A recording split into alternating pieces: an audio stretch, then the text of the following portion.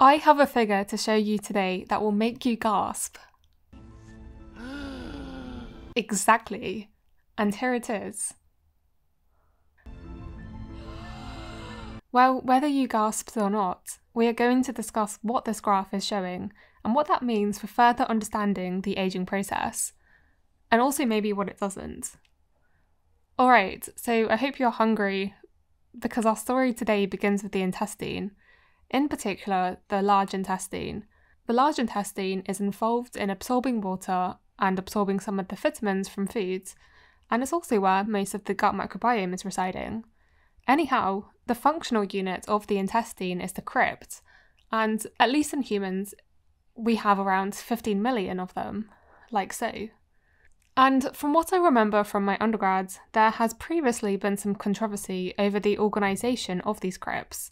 But at least for this video, we will go with the simplified understanding that at the base of these crypts are a pool of stem cells. Stem cells can replicate to make more stem cells, but they can also produce these transient amplifying cells which do most of the replication to comprise the cells of the crypt. As you might expect, the large intestine has quite a high turnover of cells. So, since some stem cells will divide to produce more stem cells, whilst others will divide and differentiate, over time the intestinal crypt becomes dominated by cells originating from one stem cell clone. It becomes monoclonal. A previous study beautifully illustrated this phenomenon using different coloured fluorescent markers, as you can see here. And so I don't know if I stole this analogy, but you can sort of think of the crypt being like a conveyor belt or an escalator of how the cells progress. But anyway, this organisation of the crypt has a unique feature, therefore, that due to this domination by a stem cell, as evidenced by these pretty pictures, all cells in a crypt are derived from a single ancestral stem cell that existed in recent years. That is to say, if there was a mutation in the stem cell, then all the cells would possess it. Because these mutations are found not in the egg or the sperm, the germ cells, they are found in non germ cells called somatic cells. Mutations in these cells are called, you guessed it, uh, no, somatic mutations. And then, if you wanted to find out what the somatic mutations were in the original ancestral stem cell, you can, in theory, sequence the DNA from any of the descendants. And so, not all mutations are bad. I mean, evolution, right? Some may be good, some may not have any apparent effect, or some, yes, maybe bad. But why have I told you all this? Aha, well, this finally brings me on to this recent paper from Nature, which has already caused a lot of excitement. Somatic mutation rates scale with lifespan across mammals, which is a, a little bit of a spoiler for what we're going to talk about. But what exactly did they do in this paper? Well, quite simply, they calculated a somatic mutation rate for the intestinal crypt for a variety of different mammals, each with different lifespans, from mice, cats, dogs, humans, all the way through to lions. And this is because, as we saw in the intestine, over time we accumulate mutations, even in the world's coolest protein, and unfortunately, some of these mutations can give rise to cancer. But do they also contribute to aging? Well, this somatic mutation theory of aging has been around for a long time, of which the general idea of the theory is quite simple, apparently. This article from 1965 continues Spontaneous mutations are postulated to occur in the somatic cells of the body, and since they are, in general, irreversible, their numbers will tend to curtail some cellular function. The cells will gradually become inefficient or die as the mutations accumulate. And when this process takes place in a sufficiently large percentage of the cells of the body, senescence, aging, gradually develops. And then this is my favourite bit.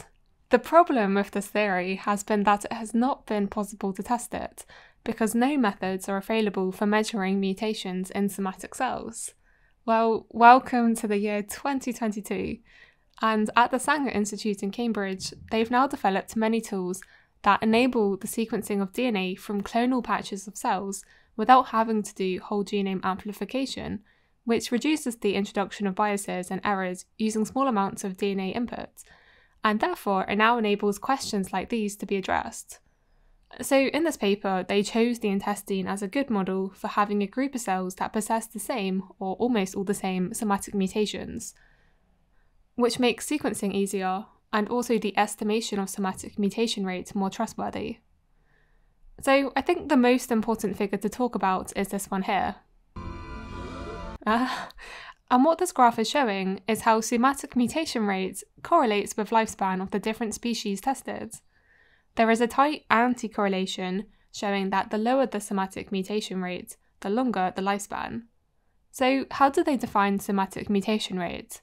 Well, rate is any change in variable over time. So here they calculated it based on the number of mutations in a crypt by the age of the individual. Then the question is, well, how do you define a mutation? So they ran their sequence data through a variety of algorithms, one of which is the CaVEMan algorithm, and they compare it with non-intestinal tissue to ignore germline mutations, mutations slash variations present since birth. And to also get an estimation of this mutation rate, they also assumed monoclonality of the colorectal crypt samples.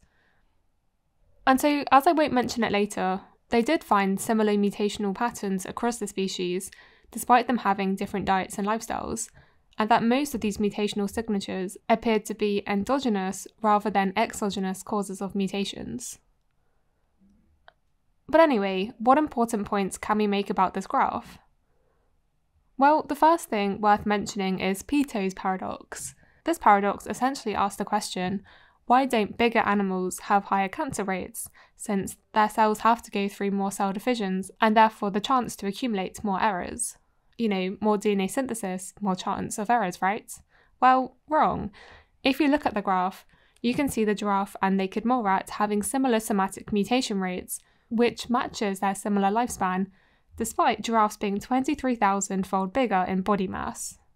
So, this suggests the accumulation of somatic mutations is time dependent, not cell division dependent. But then the thing you might want to ask is then, well, why do they have a lower mutation rate? And one explanation for Peto's paradox is that some species have increased DNA repair. And that's kind of an interesting thing to further explore, especially in different species, to see how do they repair their DNA differently to maybe what humans do. Although, if you look at this graph, we're looking pretty good right now but identifying more efficient DNA repair enzymes could have therapeutic value. And so we also need to address the elephant in the room, or well, lack of it actually, but I mean the elephant sized gap between the data points. It would be nice to see the trends match in other species or potentially to identify outliers. And then obviously, it would be good to have species who live longer than humans to see if this also fits the trend. And then it would also be cool to have finer resolution within a species, in particular in humans, as I think that would also be quite informative. And then there is correlation versus causation. This graph shows a correlation, but doesn't mean that mutations are causal for aging. Well, there are cases in mouse studies where they can increase DNA damage and you see the mice age faster. And then there's cases of human progeria patients who show symptoms of advanced aging and have mutations again in DNA repair enzymes. But that still doesn't really address the question of, well, why would mutations cause aging? And I know that review I mentioned earlier gave a couple of ideas, but it's worth considering again here that this study was on in intestinal cells, which replicate and then progress to the surface of the intestine and then eventually die. And so there's quite a high turnover of cells here. But what would be the consequences in cells that persist longer in the body, like in neurons? And would therefore somatic mutations in neurons also be correlated with lifespan in different species?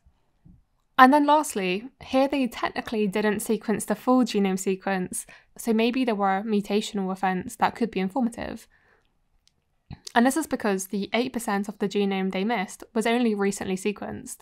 Why this is useful and if you're interested in what the genome doesn't tell you, then you should watch this video here. So with that, I hope you've learned something in this video. Thank you to my Patreon supporters and thank you for listening.